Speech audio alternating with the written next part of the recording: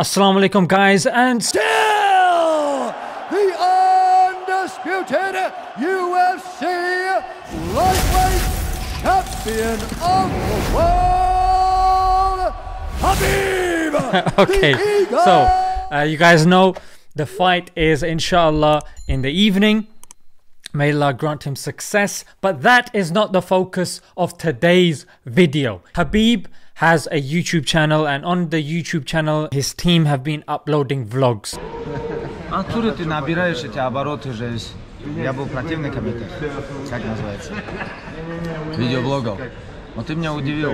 And in one of the latest ones, we saw this. Might leave a mark, I'ma leave a mark in this dunya, cause I pray hard. Yes, that's right, the world champion Khabib the most feared MMA wrestler of our time, mate, is putting his head on the ground and showing his ego who the real boss is. That's right. And behind him, you also see champions as well. Everybody, look at that, everybody standing shoulder to shoulder. And this is why I say Islam is unlike other religions, yeah, because it practically implements its teachings through practices. What teachings, I hear you ask? Well, uh, let me just mention four, yeah, just from this act that you're seeing, yeah. This is called salah or prayer, yeah. Number one, it's brotherhood. You see people of different abilities, of different status, of different races. That's right, everybody stands shoulder to shoulder. This practically shows us that nothing matters in the sight of God apart from our good deeds. Number two, it's connection with God. Whenever we want to meet these politicians or even these famous people, it's very difficult finding a window that we can meet him. But here Allah has set aside time that we can communicate with him five times a day. You don't need to get a very expensive package to get a stronger signal. No, the signal between you and your creator is always strong. Number three, it shows forgiveness and mercy. Because in a saying of the Prophet, peace be upon him, the similitude of praying five times a day is like bathing five times a day.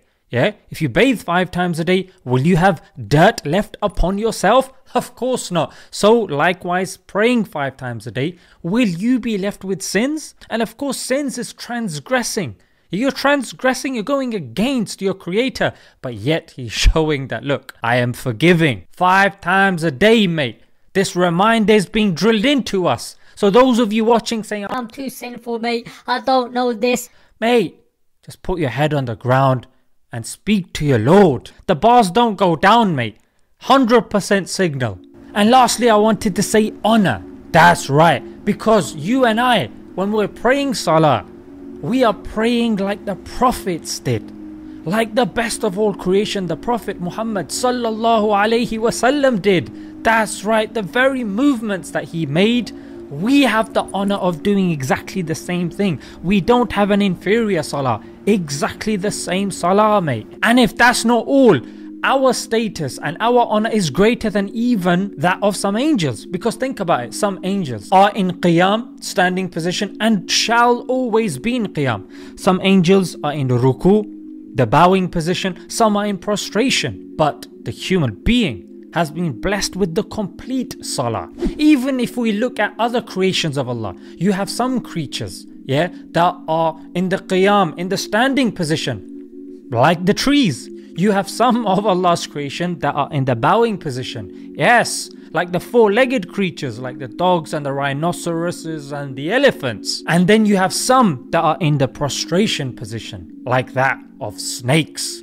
But Alhamdulillah, Allah has made human beings limber that we are able to encompass all the positions in the salah, the prayer. And some of you guys are like, mate, you have inspired us. Yeah, that's amazing, but I'm just too sinful. Mate, the hadith tells us that even if your sins were to pile up, as long as you keep asking for forgiveness, Allah will keep forgiving you. But you gotta be sincere though. Yeah, try your best to stick with your promise. If you then falter again, ask forgiveness again. Please, please, please, no matter what you're doing, even if you're doing something haram, take five minutes out, do your salah, and then it is what it is. You know what I'm saying? You'll get the sin for that particular act, But don't accumulate your sins by also missing your salah as well. The sin for the act is different, the sin for missing salah is different. I think what made this even more special is that Khabib, alongside his team, they are in Dubai. Yeah, Dubai is known for its glitter and glamour, and the gym, mashallah, has all sorts of facilities. And I'm sure he's getting sponsorships and all sorts of things. But mashallah, he's taking time out to put his head in front of his Lord. Because, guys, no matter what facet of life you are in, no matter what problem, hardship you're going through, the universal, the universal medicine that has been prescribed to us is salah, prayer. If there's anything that you're going through, after the salah, you say Assalamu alaikum wa rahmatullah, Assalamu alaikum rahmatullah. Raise your hands, guys. But we feel like we have to make robotic du'as. No, just say praise Allah, send salutations upon the Prophet, and then, guys, talk away. Say, Allah, I'm struggling. Yeah, I'm finding dunya very overwhelming. It's very difficult. The hardships they're coming one after another. Ya Allah, please give me ease, give me comfort, help me. All right, guys, let's leave it there. And inshallah, let's try to implement this. Until next time. Assalamu alaikum.